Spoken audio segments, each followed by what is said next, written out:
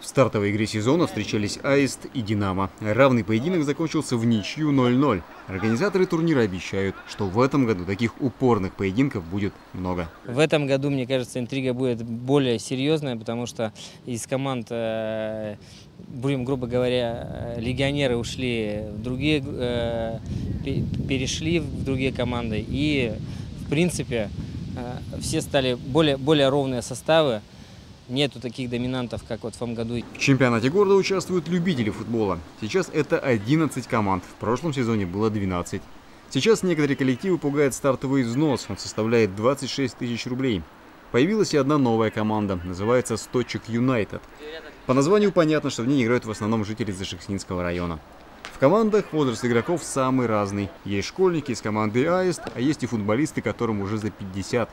Различный подход к этому турниру у команд. Кто-то серьезно готовится биться за призовые места, имеет спонсоров, а кто-то собирается только на матчи, чтобы просто получить удовольствие от любимой игры. Конечно, это удовольствие. То есть люди приходят, э, кто-то с завода, кто-то с других каких-то работ. То есть люди приходят здесь выплеснуть свои эмоции, то есть получить удовольствие, как-то отвлечься от своих э, повседневных дел, проблем.